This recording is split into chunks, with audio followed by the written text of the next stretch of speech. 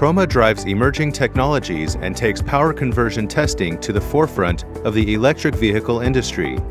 Our automated test systems and integrated test beds dedicated to EV and locomotive testing are in line with international test standards for key components such as the power battery, BMS, DC-DC converter, OBC, motor driver, and EVSE. The Hardware in the Loop Testbed series accommodates real-time testing and various high-power equipment into a virtual driving environment.